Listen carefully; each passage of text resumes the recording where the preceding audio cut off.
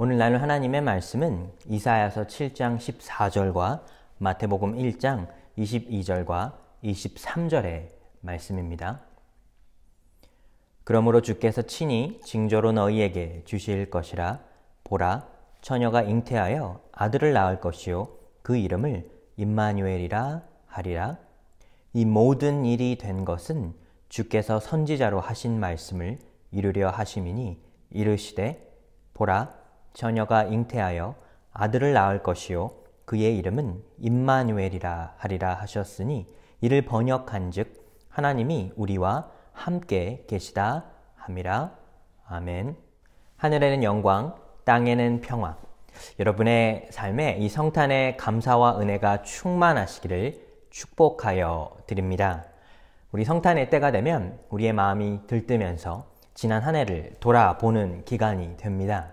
우리 주변에 혹시 어렵거나 또 도움이 필요한 손길이 있으면 그들에게 손을 내밀기도 합니다. 부디 성탄의 기간을 지나 가시면서 한 해를 돌이켜 많은 것을 베풀어 주신 주님의 은혜에 감사하는 마음으로 우리 주변을 돌아보시며 또 예수 그리스도의 사랑을 나누실 수 있는 여러분이 되시기를 축복하여 드립니다. 한국에는 얼마 전에 이런 일이 있었습니다. 홀로 지내고 있던 30대 한 청년이 죽은 지 1년 후가 돼서야 그 시신이 발견된 것입니다. 그가 발견되었을 당시에는 집주인이 도무지 연락이 되지 않는 그 집의 문을 열고 들어가 보니 거의 백골화가 된 이 시신이 발견된 것입니다. 놀라운 것은 1년여의 기간 동안에 가족이나 친구 그 누구도 그 죽음에 대하여 알지 못했다는 것입니다. 참 안타까운 상황입니다. 어떻게 보면 경제적으로 가장 활발히 활동할 때 또 사회적으로 가장 적극적으로 활동해야 할 이 30대에 홀로 죽음을 쓸쓸히 맞이하게 된 것입니다. 물론 우리가 이 청년이 어떤 삶을 살았는지 자세히 알 수는 없습니다. 하지만 홀로 죽음을 맞이하였고 또 죽음 후에 1년여 동안에 그 누구도 그의 죽음에 관하여 알지 못했다는 것은 그가 쓸쓸하게 자신의 삶을 살아왔다는 것을 추측해 볼 수가 있습니다. 한국에는 이 30대, 40대, 이 홀로 사는 이 젊은 가정들이 꾸준히 목숨을 잃는 경우가 있다고 합니다. 이 고독사가 꾸준히 증가하고 있다는 것은 어떻게 보면 사회의 가장 어두운 단면을 보여주고 있다는 것입니다. 홀로 죽음을 맞이하는 것, 홀로 마지막에 이 삶의 마지막을 맞이한다는 것이 참으로 안타까운 일입니다. 우리는 그들의 삶을 통해 어떻게 그들이 살면서 방치되어 왔는가 그 부분을 기억하고 돌아볼 수 있어야 합니다. 우리 모두가 다 인생을 살다 보면 우리가 마치 방치된 것만 같은 그런 감정을 느낄 때가 있습니다. 특별히 이민자들의 삶이 그렇습니다. 언어와 문화가 다른 이 먼 땅에 와서 삶을 꾸려 살다 보면 마치 홀로 방치된 것만 같은 다른 세상과는 단절된 것만 같은 그런 삶을 지나가기도 합니다. 사랑하는 여러분, 우리는 방치된 상황 속에 놓여 있다 느껴지게 된다면 그 부분을 잘 치유하고 회복할 수 있어야 합니다. 세상에 나 홀로라고 느껴지게 된다면 결국에는 이 육신의 방치됨이 마음과 영적인 방치함으로 이끌어지게 되고 결국에는 우리의 몸과 마음이 병들기 때문입니다. 신앙의 생활도 마찬가지입니다. 신앙의 삶을 살다 보면 우리는 마치 하나님과 영적인 단절 상태를 경험할 때가 있습니다. 마치 하나님께서 나를 영적으로 방치한 것만 같은 그때를 경험하는 것입니다. 왜 하나님께서는 나의 기도의 제목을 들어 주시지 않는지, 왜 홀로 나를 이런 어려움 속에 놔두고 계신지, 그것에 질문이 들게 됩니다. 영적인 방치 상태를 그냥 놔두게 된다면 결국에는 우리 마음의 질병으로 이끌게 되고 하나님과의 관계가 무너지는 것뿐 아니라 우리 주변과의 이웃과의 관계 안에서도 회복할 수 없을 만큼 깊은 절망의 구렁이로 빠질 수가 있습니다. 부디 성탄의 기간을 지나가시면서 영적으로 방치된 상태라 느껴지시게 된다면 우리는 이 성탄의 메시지를 통해 또 예수 그리스도가 우리와 함께 한다는 사실을 통해 회복되기를 간절히 소망합니다. 성경은 우리에게 이 창세기부터 요한계시록까지 하나님은 우리와 늘 함께하는 분이라 말하고 있습니다. 특별히 임마누엘이라는 말은 우리에게 굉장히 친숙합니다. 임마누엘이라는 말의 뜻은 하나님이 우리와 함께한다는 뜻입니다. 구약과 신약의 모든 성경을 통틀어 이 임마누엘이라고 하는 단어는 총 세 번이 나오게 되는데 그 중에 두 번이 이사야서 그리고 한 번이 마태복음에서 등장하게 됩니다. 마태복음 1장 23절 이 말씀을 같이 다시 한번 읽어 보겠습니다. 보라 처녀가 잉태하여 아들을 낳을 것이요 그의 이름은 임마누엘이라 하리라 하셨으니 이를 번역한즉 하나님이 우리와 함께 계시다 함이라 하나님은 늘 우리와 함께 계시는 분이라는 사실입니다. 우리는 이 사실을 기억할 수 있어야 합니다. 나와 하나님과 단절된 상태라 느껴지는 그 순간에도 우리와 함께 하시는 하나님이 함께 있다는 사실입니다. 이 사실을 잃어버리게 된다면 결국 주님께서 약속하신 그 은혜와 감사도 잃어버릴 수밖에 없습니다. 우리는 특별히 이 성탄의 기간을 지나가면서 우리를 방치하지 아니하시고 늘 우리와 함께 하시는 이 하나님의 그 메시지를 기억하면서 성탄절을 잘 보낼 수 있어야 하겠습니다. 성탄은 결국 하나님의 사랑의 마음을 나누는 기간입니다.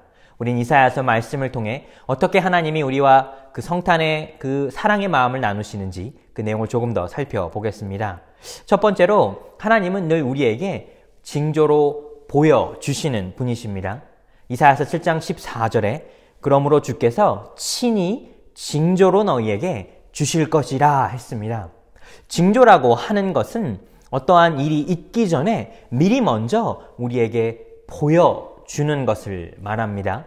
즉, 우리 삶에 어려움이 생기기 전에 주님께서 먼저 징조로 우리에게 보여주시게 된다면 그 어려움의 상황들을 잘 이겨낼 수가 있습니다. 이사야서 본문의 배경은 이렇습니다. 북왕국 이스라엘은 아람과 연합하여 이 남유다를 침략하였고 결국에는 남유다 역시 이 심판을 맞게 되고 나라가 멸망하게 됩니다. 하지만 하나님은 친히 징조로 먼저 그들에게 약속해 주시고 말씀해 주십니다. 그들에게 심판이 임할 것이지만 그 심판 후에는 회복이 있으며 구원이 있다는 사실입니다. 우리 신앙의 삶도 마찬가지입니다. 우리가 아무리 어려움의 순간들을 지나가고 있을지라도 주님께서 우리와 함께 하시고 결국에는 우리의 삶을 회복시켜 주시리라 하는 확신이 있다면 우리는 현재 어려움의 상황도 이겨낼 수 있습니다. 두 번째로 우리는 하나님의 약속하심을 깨달을 수 있습니다. 오늘 본문의 내용에 이어서 보시면 이렇게 말씀하십니다. 그러므로 주께서 친히 징조로 너희에게 주실 것이라. 하나님은 여기서 이 이스라엘 나라가 어떻게 회복될 것인지를 약속하시는 것입니다. 즉 이스라엘이 이제는 멸망의 위기 앞에 있지만 이 멸망 후에는 다시 나라가 회복될 것이라 라고 하는 이 약속을 해 주시는 것입니다. 사랑하는 여러분, 우리 모두는 누군가와 약속을 하고 약속을 잘 지키기를 원하지만 때로는 우리의 연약함 때문에 그 약속을 어기기도 합니다.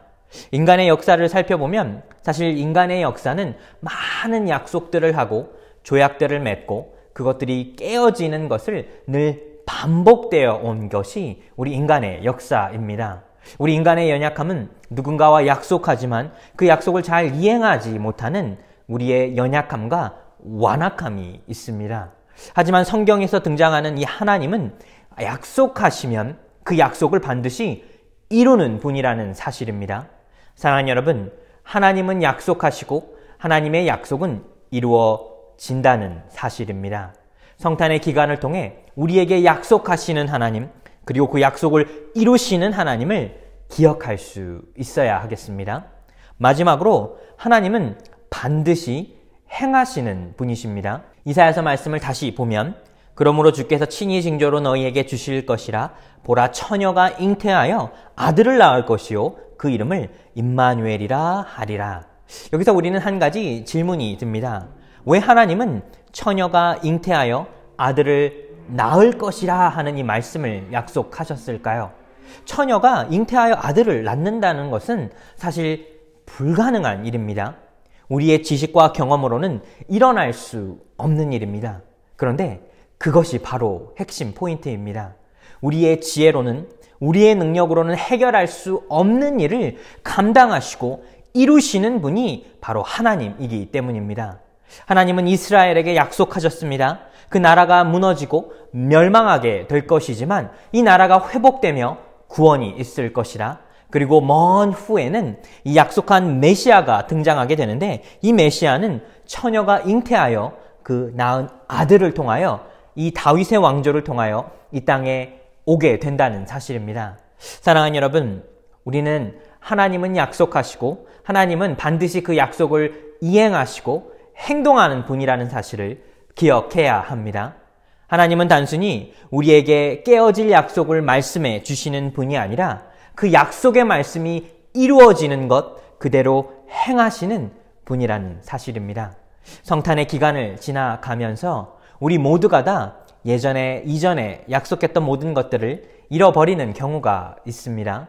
연초를 시작하시면서 여러분은 스스로에게 혹시 주변에 어떤 약속들을 하셨습니까? 1년을 돌이켜보면 그 약속들이 다 이루어지셨습니까? 이루어진 것도 있고 또 그렇지 못한 것도 있을 것입니다. 그런데 성경에서 말씀하시는 하나님은 말씀하시고 약속하시고 그 모든 것을 이루시는 하나님입니다. 성탄은 예수님께서 이 말 구유에서 태어나신 그 날을 기념하고 기억하는 기간입니다. 물론 역사적으로 이 12월 25일이 이 땅에 예수님께서 오신 날인 것은 아닙니다. 하지만 이날은 우리가 특별히 기념하는 마음으로 예수 그리스도의 탄생을 기리게 됩니다. 그런데 여러분 혹시 창세기에서 이미 하나님은 예수 그리스도께서 이 땅에 오심을 약속하시고 장차 예수 그리스도께서 십자가에 돌아가심으로 우리와 하나님과의 무너진 관계가 다시 회복될 것이라 하는 그 약속을 하신 것 아십니까? 창세기 3장 15절에 보시면 하나님은 범죄한 아담과 하와를 에덴 동산에서 쫓겨내시며 또 그들을 유혹한 뱀에게 이렇게 경고와 심판의 말씀을 하십니다. 내가 너로 여자와 원수가 되게 하고 너의 후손도 여자의 후손과 원수가 되게 하리니 여자의 후손은 내 머리를 상하게 할 것이요 너는 그의 발꿈치를 상하게 할 것이니라 하시고 하나님은 이미 이 뱀에게 장차 그에게 심판이 있을 것인데 그 심판을 이룰 이르기가 바로 이 여자의 후손에서 나올 것임을 약속하고 있는 것입니다. 즉 수많은 시간이 지난 후에 이 땅에 아기 예수를 통하여 이 세상의 죄가 심판받게 되는 것이고 이 죄가 심판받는 것을 통하여 우리는 하나님과의 무너진 관계가 회복될 수 있다는 사실입니다. 즉 성탄의 기쁨은 성탄의 감사는 우리의 삶의 현재의 문제만을 말하는 것이 아니라 과거에 이룰 수 없었던 지난날의 잘못과 과오 또한 현재의 예수 그리스도의 탄생으로 인하여 미래의 구원을 약속받고 이루어 낼 것이라는 주님의 약속의 말씀인 것입니다. 사랑하는 뉴욕 주소만교회 성도 여러분, 이 성탄의 기간을 지나가시면서 하나님은 약속하셨고 그 약속을 이루시고 장차 우리에게 회복시켜 주시는 하나님이라는 사실을 기억할 수 있다면 삶의 어떠한 위기가 찾아오더라도 우리는 그 속에서 함께 하시는 주님의 은혜와 소망을 꿈꿀 수가 있습니다. 한 해를 마무리하시면서 또 새해를 준비하시면서 늘 여러분과 함께 하시는 임마누엘 하나님을 통해 여러분의 삶에 크신 하나님의 소망이 함께 하시기를 예수님의 이름으로 축복하여 드립니다.